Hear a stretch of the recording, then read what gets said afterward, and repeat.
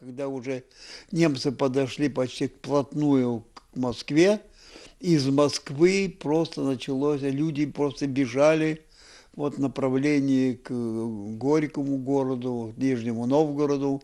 Это было просто такое сплошное бегство людей, которые не хотели, не, не могли и не хотели оставаться, если вдруг немцы займут Москву.